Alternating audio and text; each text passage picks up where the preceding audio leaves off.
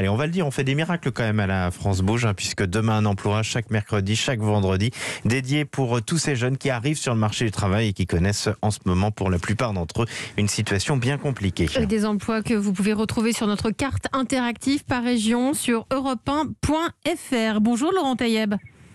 Bonjour. Vous êtes le dirigeant du groupe Laurent Taïeb, donc ça porte votre, votre nom et votre prénom. C'est un groupe de restaurants, d'hôtels, et si vous êtes dans la France Bouge, eh bien c'est parce que vous avez des bonnes nouvelles à nous annoncer. Vous avez 400 offres d'emploi dans la restauration et dans l'hôtellerie, et il faut le faire parce que tout est fermé en plus en ce moment.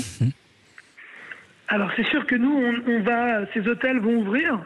Donc on n'a pas, ce sont des- un va ouvrir en janvier 2022 et l'autre et l'autre en avril 2022. Et donc le recrutement commence en règle générale dans les hôtels 12 mois avant pour les cadres dirigeants. Et au fur et à mesure de- de- des mois à venir, on va recruter l'ensemble des salariés. Et ces deux hôtels euh, représentent 400 emplois. 400 emplois, et notamment pour les jeunes, des, des jobs qui sont accessibles euh, tout de suite.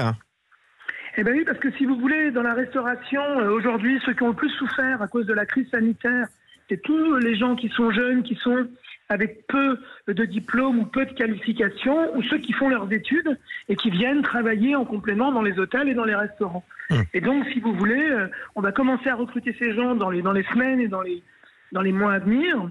Et ce sont des, des- on peut engager euh, plein de jeunes qui ont peu de qualifications qu'on formera. Alors c'est un secteur compliqué, le, le vôtre. J'imagine qu'il y a un peu de stress en ce moment. Il faut, faut espérer que tout rentre dans l'ordre pour que ça puisse rouvrir normalement? Alors, il faut espérer, sur certains euh, lieux qu'on possède déjà, comme le restaurant Kong, malheureusement, on est comme mes- tous mes confrères, nous sommes fermés, les gens sont au chômage partiel.